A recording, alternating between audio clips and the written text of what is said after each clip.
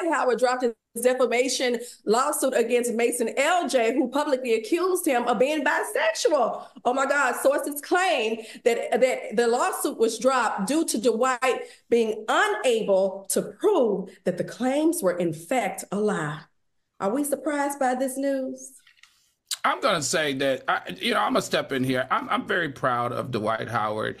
Um, I feel like he's dropping this suit because he, for the first time, or he's tired of using or spending a lot of money to hide his sexuality, right? And this last experience taught him that, look, you can actually get through this. You can get through the rumors. You can get through the lawsuits. You can get through all of this because at the end of the day, do people really care anymore, Dwight? It's been rumbles for years. And I like the fact that he dropped it because I think he's becoming more comfortable with his sexuality. And this shows that because Dwight has spent millions in the past, allegedly, to make stories like this go away. To see him step from that and start to walk what appears to be in his truth by some of the things that he's posted about what happens in his bedroom is his business. Who cares? This is his life and he's going to live his best life. He's saying what he needs to say without actually saying it. And I support him because for a black male NBA athlete who has all of these like stereotypes on him and not able to really live his true life. This is this is a this is like a rebirth.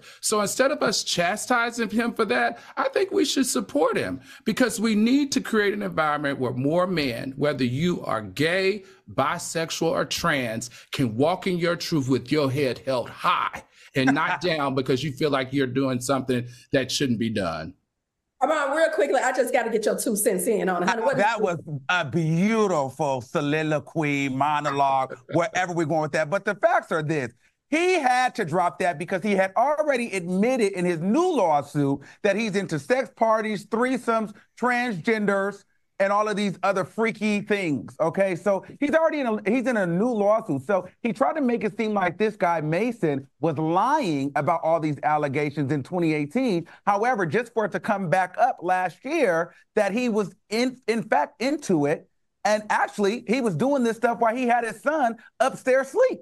Yeah, that's six years ago. Six years ago, he was in the closet. Six years ago, he wasn't comfortable with his sexuality. So he did try to. I just said he masked his sexuality with lawsuits so that people would, so it wouldn't get out. So I think don't don't don't down a man for his change. Celebrate his change because it motivates others. It really does encourage no. others. He's not the only athlete, the only black male athlete in the game or in the business that's bisexual or that prefers trans women. It's okay to let them be themselves, and we have to create an environment to allow them to do it. I, I, I know that I've been in this position, and I can't be on this platform and not applaud somebody for taking a step to encourage others.